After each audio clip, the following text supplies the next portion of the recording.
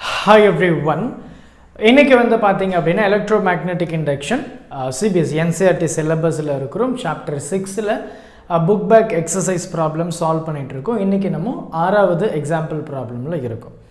இது கரண்ட் இயரில் deleted but நமக்கு இந்த கான்செப்ட் ரொம்ப முக்கியமாக நம்ம பார்க்குறோம் a circular coil of radius eight centimetre அதில் வந்து டுவெண்ட்டி டர்ன்ஸ் இருக்குது is rotated about its vertical diameter with an angular speed of 50 radian per second. So எனக்கு வந்து ஒரு சர்க்குலர் காயில் இருக்குது ரைட் அந்த சர்க்குலர் காயிலுடைய ரேடியஸ் பார்த்தீங்கன்னா எயிட் சென்டிமீட்டர் அப்படின்னு சொல்லி கொடுத்துருக்காங்க. ஸோ இதில் எனக்கு இதோட டேர்ன்ஸ் வந்து டுவெண்ட்டி அப்படின்னு சொல்லியிருக்கு. இது எப்படி ரொட்டேட் ஆகுது அப்படின்னா இதோட ஆங்குலர் ஸ்பீடு பார்த்தீங்கன்னா ஃபிஃப்டி ரேடியன் பர் செகண்டு அப்போ இந்த சர்க்குலர் லூப் இப்படி இருக்குது இந்த சர்க்குலர் லூப் வந்து பார்த்திங்கன்னா இப்படி ரொட்டேட் ஆகுது. I hope you can get my point so circular coil இப்படி இருக்குது இந்த சர்க்குலர் காயில் இப்படி இருக்குது இப்படி ரொட்டேட் ஆகுது. ஸோ இந்த மாதிரி ரொட்டேட் ஆக ஆரம்பிக்குது. அப்போ என்ன ஆகுது அப்படின்னா ரொட்டேஷன் சொல்லும்போது டார்க் அங்கே ப்ரொடியூஸ் ஆகுது. அப்போது டார்க் எப்போ ப்ரொடியூஸ் ஆகும்? எனக்கு வந்து அந்த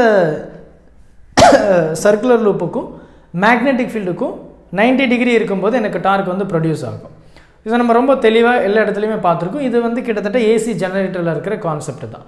ஸோ அதனால தான் இந்த சாப்டர் இதை டெலீட் பண்ணிவிட்டு சொல்லியிருப்பாங்க.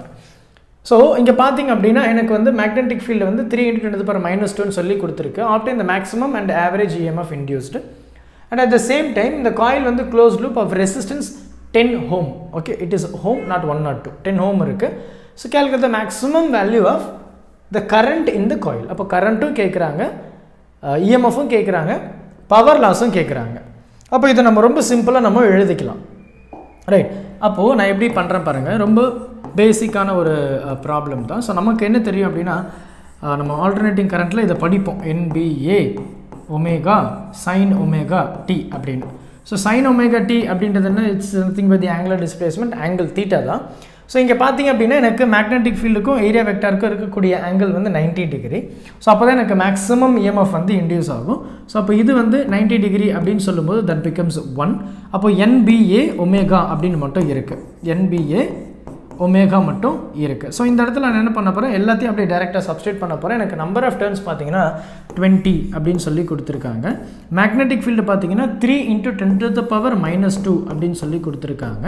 அண்ட் ஏரியா பார்த்தீங்கன்னா எனக்கு ரேடியஸ் வந்து எயிட் சென்டிமீட்டர் அப்படின்றதுனால ஏரியாவை பையா ஆர் ஸ்கொயர் அப்படின்னு சொல்கிறோம் ஸோ பையை வந்து நான் த்ரீ பாயிண்ட் ஒன் ஃபோர் அப்படின்னு சொல்லிட்டு அதோட ரேடியஸ் வந்து எனக்கு எயிட் சென்டிமீட்டர் ஸோ அப்போ மீட்டரில் கன்வெர்ட் பண்ணும்போது எயிட் இன்ட்டு ரெண்டு power minus two the whole square அப்படின்னு சொல்லும்போது எயிட் இன்ட்டு எயிட்டுன்னு ரெண்டு தடவை வரும். அப்போது sixty four into ten power minus two minus two that becomes minus four இது ஏரியா டைம்ஸ் எனக்கு ஒமேகா இருக்குது ஸோ ஒமேகான்றது பார்த்தீங்கன்னா angular frequency which is angular frequency or angular speed சொல்லி கொடுத்துருக்காங்க radian per second which is fifty ரைட்டா so இப்போ நான் என்ன பண்ண போகிறேன் இது எல்லாமே அப்படி நான் டேரெக்டாக சப்ஸ்டியூட் பண்ண போகிறேன் so if I do so எனக்கு என்னெல்லாம் நடக்குது நீங்களே பாருங்கள் எனக்கு வந்து இந்த ஜீரோவும் இந்த ஜீரோவும் பார்த்தீங்கன்னா டென் டு பவர் டூ இங்கே ten to power minus two எல்லாமே மொத்தமாக கேன்சல் ஆகிடுச்சு ஸோ ரிமைனிங் டேர்ம் பார்த்தீங்க அப்படின்னா எனக்கு இந்த டூ இருக்குது இந்த த்ரீ இருக்குது த்ரீ பாயிண்ட் ஒன் ஃபோர் இருக்குது சிக்ஸ்டி ஃபோர் இருக்குது அண்ட் அந்த ஃபைவ் இருக்குது இப்போ இந்த டூ இன்ட்டு த்ரீ பார்த்தீங்கன்னா சிக்ஸ் கரெக்டாக இந்த சிக்ஸோட இந்த சிக்ஸ்டி ஃபோரை நான் மல்டிப்ளை பண்ணுறேன் சிக்ஸ்டி ஃபோர் இன்ட்டு சிக்ஸ் பண்ணனா சிக்ஸ் ஃபோர் சார் டுவெண்ட்டி ஃபோரு டூ இருக்கும். சிக்ஸ் சிக்ஸாக தேர்ட்டி சிக்ஸு தேர்ட்டி எயிட் கரெக்டாக இப்போ நான் என்ன பண்ணிட்டேன்? இது ரெண்டுத்தையும் இதோட மல்டிப்ளை பண்ணிட்டேன். ரைட் அப்போ ரிமைனிங் இன்னொன்று என்ன இருக்குது த்ரீ பாயிண்ட் ஒன் ஃபோர் இருக்குது அப்போ இதோட த்ரீ பாயிண்ட் ஒன் ஃபோரை நான் மல்டிப்ளை பண்ணுறேன் அப்போ மல்டிப்ளை பண்ணும்போது four four sir sixteen carry over one four eight sir thirty two இது ஒன்று சேர்த்தா த்ரீ தேர்ட்டி த்ரீ த்ரீ இருக்குது ஃபோர் த்ரீ சார் டுவெல்வு இது ஒரு த்ரீ சேர்த்தா ஃபிஃப்டீனு ஃபஸ்ட்டு இப்போ ஒன்று இது பார்த்தீங்கன்னா ஃபோர் தான். இது என்னது எயிட்டு இது என்னது த்ரீ அடுத்து பார்த்தீங்கன்னா எனக்கு த்ரீ த்ரீ ஃபோர் சார் வந்து டுவெல் ஆகிடும் கேரி ஓவர் ஒன்று த்ரீ எயிட் சார் வந்து டுவெண்ட்டி ஃபோர் இது ஒரு ஒன்று சேர்த்தா டுவெண்ட்டி ஃபைவ் இன்னும் டூ இருக்குது த்ரீ த்ரீ சார் வந்து nine ten eleven so six seven ten fifteen ஒன்று இது என்னது? சிக்ஸு ஃபோர் டென் ஆகிடுச்சு ஸோ கேரி ஒரு ஒன்று ஒன்று டூ அப்போ one two zero five seven six அப்படின்னு வருது. இங்கே ஒரு ரெண்டு நம்பரு க கழிச்சு டெசிமல் வச்சுருக்கோம். அப்போ one two zero five point seven six அது மல்டிப்ளைடு பை இந்த ஃபைவ் ஸோ அது என்னது?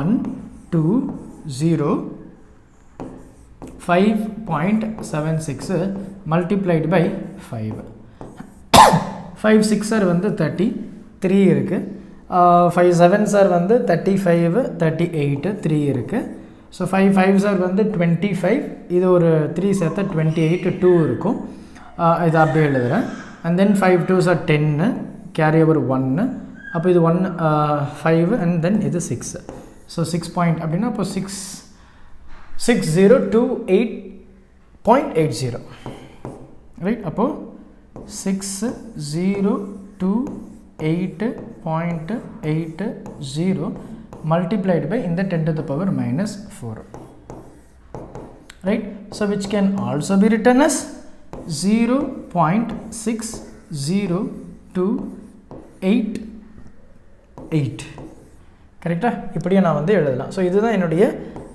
மேக்ஸிமம் இஎம்எஃபாக இருக்குது ஏன்னா நைன்டி டிகிரியில் ரைட் இதுதான் உங்களோட மேக்ஸிமம் இஎம்எஃப் நல்லா கவனி. இதுதான் உங்களோட maximum EMF maximum EFF EMF அப்புறம் என்னுடைய மேக்ஸிமம் கரண்ட் எப்படி இருக்கும்? ஸோ மேக்ஸிமம் கரண்ட்டுமே இதே தான் நமக்கு தெரிஞ்ச அதே general formula I equal to EMF by R so maximum EMF by resistance so maximum EMF zero point six zero two eight நாலு மட்டும் போதும். அண்ட் அதோட ரெசிஸ்டன்ஸ் பார்த்தீங்கன்னா டென் ஹோம் அப்படின்னு சொல்லி கொடுத்துருந்தாங்க resistance of the coil so அப்போ எனக்கு ஒரு ஜீரோ அப்படி மேலே போயிடுச்சு அப்படின்னா zero point zero six zero two double eight will be your maximum current அப்போ எனக்கு வந்து ஆவரேஜ் இஎம்எஃப் எப்படி இருக்கும்? எனக்கு ஆவரேஜ் இஎம்எஃப் வந்து பார்த்தோம் அப்படின்னா எனக்கு அந்த டோட்டல் சர்க்கியூட் இல்லையா? ஸோ எனக்கு இந்த மாதிரி தான்.